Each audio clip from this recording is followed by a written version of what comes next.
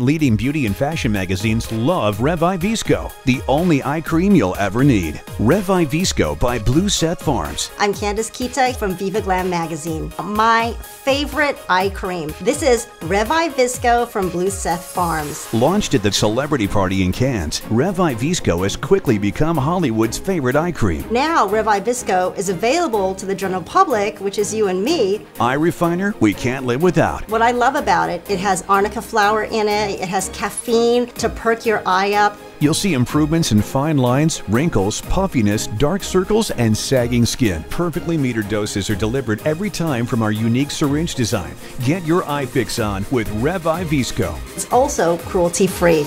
Developed in Hollywood, California, Revi Visco's patent pending formula is a proprietary blend of science and nature that work together to stimulate your skin's natural rejuvenation process.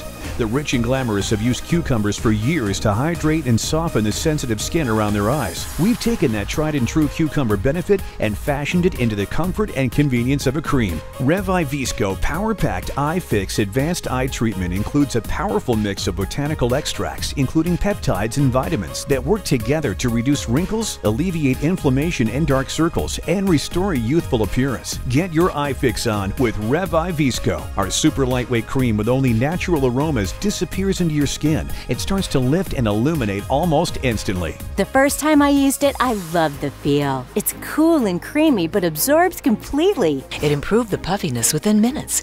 After a couple of weeks, my fine lines were disappearing, and so were my dark circles.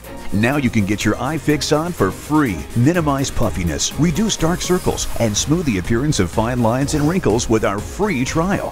Visit youreyefix.com to try Visco free. Just pay shipping and handling.